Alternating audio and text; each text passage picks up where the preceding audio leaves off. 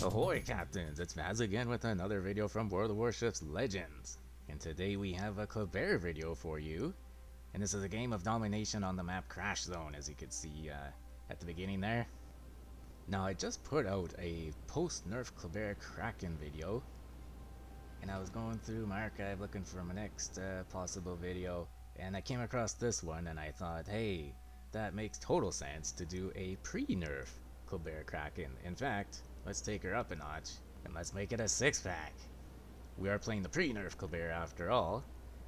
And boy, this thing, it used to be a, a straight up Kraken printer. I still think it's a good ship. And uh, for my thoughts on it, check out my post-nerf Kleber Kraken video. Boy, that was hard to say. I had to redo that a couple of times. But yeah, the card's up top there, and uh, leave a link in the description below. And hell, we're playing the Kleber in this match, so we're gonna talk all about it uh, anyways. Yeah, as for this match, it's actually pretty interesting one. We have uh, four destroyers per side, and uh, there are two radar cruisers on the enemy team. And uh, most of the ships are legendaries. In fact, all eight destroyers are legendary destroyers. We got five freaking Shimakazes in this match. Jesus. But all those torp boats actually uh, benefit us. If we run into a Shimakaze, we'll be able to outgun him no problem. We do have the second largest guns for a destroyer in the game. And for having those large guns, their reload time on this thing is actually pretty good. Now we've gotten the easternmost portion uh, spawn. And when it comes to the spawn, it's uh, pretty much in the open water at the beginning. Unless you have a really quick boat, maybe you can take cover behind uh, the islands uh, towards the northeast. But then you're kind of out of position, really. So anyways, as a destroyer, I just like to go right up to the middle and just start chucking torps. Maybe I'll hit some stuff, maybe not. But really that's secondary to actually screening torps for your teammates. Again, there's three Shimakazes on the other team. We need to make sure that uh, they don't go around dev striking our uh, battleships. And secondly, we want to get those enemy destroyers off of the board. But it will be another minute or so till we do track one of those destroyers down. And so in the meantime, let's go over our commander build for this uh, match. Again, we're using our good buddy Felipe Bueno. And unfortunately, because this match actually took place uh, from way back in September, I did have to do a little bit of sleuthing to uh, figure out which uh, skills I picked because they are different uh, from what I use now. But through some ace detective work, this is probably the build I had. I'm not sure if his skill levels were the same or not, but they're thereabouts. So for this match, we were using uh, mostly a torp boat build, but I think for my second inspiration I was using Mordoff. I couldn't quite figure out who I was using. But it did appear that my reload time was a bit lower than the stock. Because double concealment was overkill. And I can't really figure out which other uh, inspirations I might have been using. Maybe Burke. But most likely it would have been Mordoff to try and uh, up that DPM. But of course now, uh, due to the uh, 2 kilometer torpedo nerf, we use Gleaves and Torpedo Safari in order to extend our torpedo range back out to uh, 7 kilometers instead of the, uh, the now nerfed 6. But as for this match, you can see that we have the pre-nerf 8 kilometer torpedo range. As uh, there's something that's laid their smokescreen here, but we can still see that Richelieu, and so we uh, put some torps out uh, towards him. And our twist and track, or I guess it's uh, perceptive on the French boats, is showing that there's uh, something over here, over in the east. And he had spotted us. Oh, and there he is. We spotted him, our first torp boat, Shimakaze. Now I'm thinking, I want to get this thing off the board as soon as possible, because I'm pretty close to that Richie Lou, and there's an Alaska right there too. So I use my main battery reload booster right away, because uh, there's no point in saving it if you think you're gonna die. Hell, the faster we get rid of him, the faster we can lose our detectability, which will limit uh, any incoming damage against us. We still got a long match to go here. We didn't want any second guessing. That happens to me a lot, actually. Where I save it, and then I die, and then I go, well, what was the point of saving it? So screw it, let's use it and get it over with. And so we dispatched that Shimakaze, that got us our first kill of the game. And in the meantime, we got uh, torp hit on the uh, Richelieu, and uh, a flood, and the flooding is sticky, and we're racking up some good old damage on him. And so let's swing back around and see if we can get uh, another torp hit on him. Maybe uh, get some torps out on this Alaska, who knows. with four torp launchers, uh, we definitely uh, have no shortage of options with this boat. No soon as I say that, and no soon as uh, we launch our torps, the Richelieu takes a big smack from one of our teammates, and it might be a little tough now to uh, get the kill. We'll have to wait and see. In the meantime, we actually uh, venture too close to the damn Richelieu. Either not paying attention or forgetting our detectability range. Also, he was just uh, charging full speed ahead. That uh, is not really something you expect, especially at tier 7. At least it's uh, not supposed to happen at tier 7, although it does happen way too often. But I digress. But it didn't matter. Friendly Bismarck's secondaries finished him off. So, heck, we could almost add a 7th kill in this match. Now, we did have some torps out on that Alaska, and I don't know what he was thinking at the end there. And he turns right into our torps. Full broadside to the Bismarck, too. The Bismarck had smacked him right before our torps finished him off, and that uh, netted us our second kill of the match. So, let's see what's going on in this match. We are up in ships. We have one cap, they have one cap, and we're about to uh, cap the Alpha objective, which will flip it from their teams to our teams, and so we'll be in uh, pretty decent shape. Although we did just lose a ship, so now we're even in ships. So no messing about too much here. Now this is something uh, you don't get an opportunity to do very often, especially with randoms. You can see our Bismarck buddy there.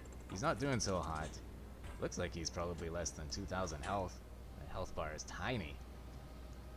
And so we thought to ourselves, let's go see if he has will to rebuild and uh, give him a hand there.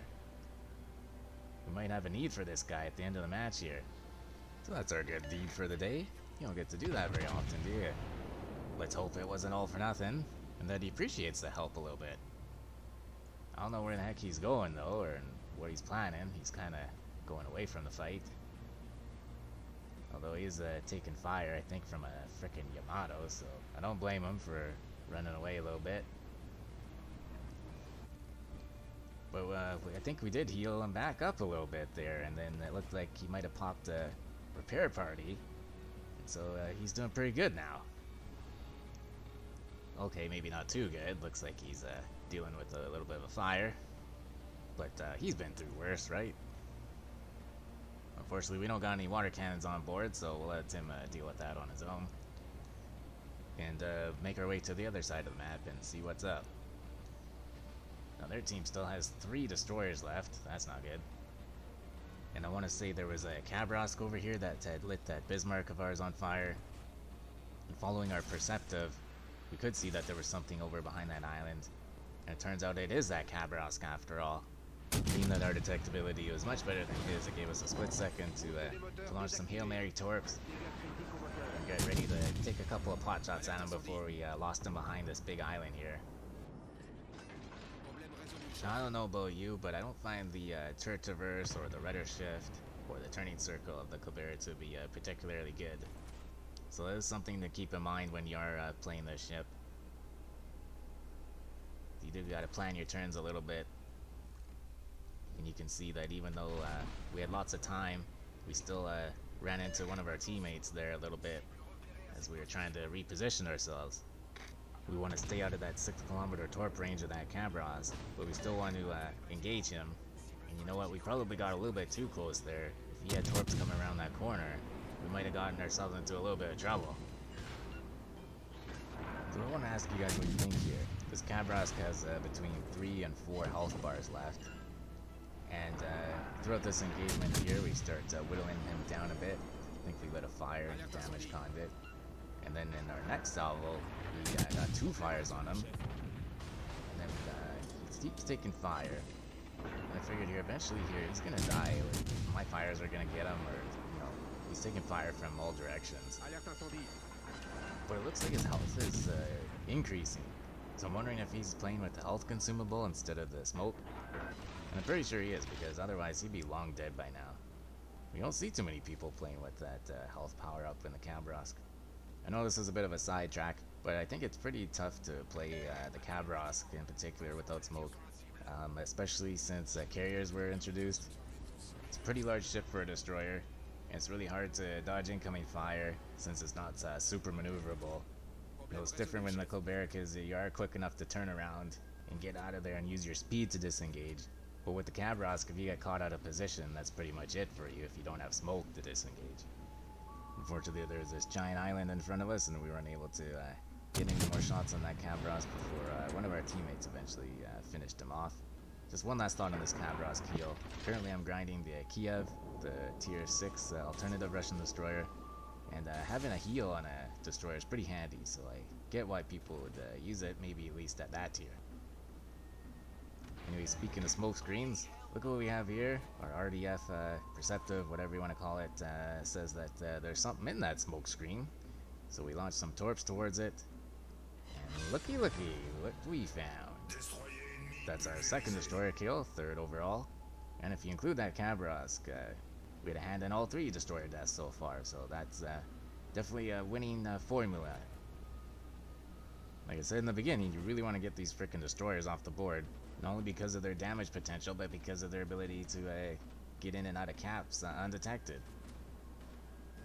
And sitting in your smoke screen as a torpedo boat is definitely not uh, something that's advisable because you are accomplishing jack shit. Maybe if you're a gunboat, you can use it, uh, you know, to farm damage a little bit. I don't know, to not really my playstyle, but you know, to harass battleships, as they say. But if you're a Shimakaze, your smoke screen should be used for nothing but disengaging. So anyways, the match is pretty even at this point. The only advantage that we have is that uh, we have two caps compared to their one. Now coming up on uh, Yamato here, waited uh, a little bit longer than uh, we normally would have. Showed some pretty good patience actually to uh, make sure that he wasn't going to turn after we launched our torps. And once we got close enough, we knew that a widespread would uh, be fine because uh, let's face it, the Yamato's huge and it's hard to dodge torps anyways. And since our Kleber torps uh, hit like a truck, we only really needed one to hit him. And there you go, our fourth kill of the match. Now we are doing some multitasking there too. We were paying attention to our RDF because it wasn't pointing at the Yamato, it was pointing at something else behind this island. And since we could uh, see the Monarch behind the Yamato, that means that that last destroyer is over here somewhere. We to slow it down a bit because uh, two torp salvos uh, crossed our path. And we continued uh, following our RDF. And there we go, I popped the Shimakaze, final destroyer on the enemy team. And uh, because we only saw two torp launchers, we did hit the brakes. Because you know that there's a third torp launcher coming. That sucker's got three of the damn things. Oh boy, one of those salvos there was over 4k in damage. Yikes, this thing hits like a truck. That Shimakaze stood no chance. And there you go, our Kraken Unleashed medal. Fifth kill of the match. Over 100,000 in damage. We even got a Confederate medal out of that engagement. Now with only one ship left on the enemy team, it's basically just a matter of wrapping up this match. So what do you guys think about the Kleber overall? Did you think it was uh, too powerful of a ship before the nerf? Do you think it's been neutered a bit too much? Or is it a ship that's just never interested to you? I used to love it. It was kind of my uh, new go-to legendary when it was released. It had amazing torps, and uh, you saw by my second inspiration, specking into the guns, whether it was Mordoff or perhaps Burke, whoever it was, you know, I had built upon the Buono's base trait of increased HE damage, and that made it a really formidable knife fighter too.